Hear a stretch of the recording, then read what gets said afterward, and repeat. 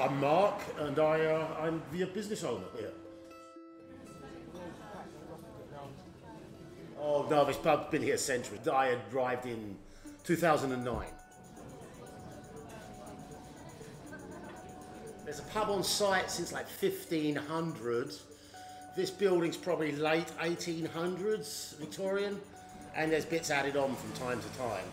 But I've got pictures of this at the turn of the century that looks basically the same.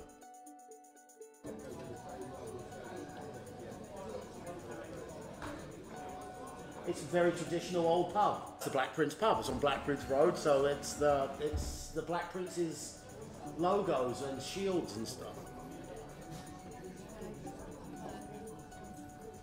We are based on regulars. We all oh, serve the community. Yeah, it's a public house, right? For oh. everyone in the area to come, right? Day shifts have disappeared right around here right now. You know, ever since the work from home and no people are in the office. So it's more of an evening time now.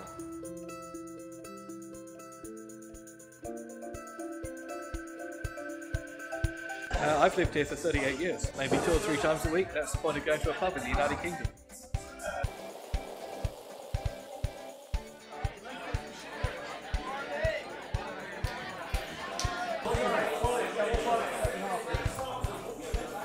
Ali, and I've been coming here for 22 years.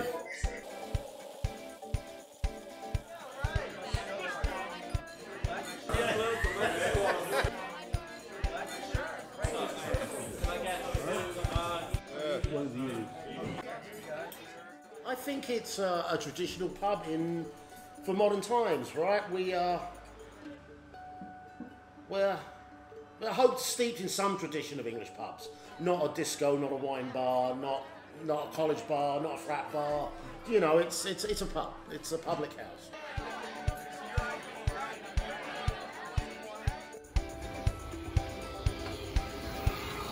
Yeah, we're the pub round the corner. We're the pub down the street. Yeah.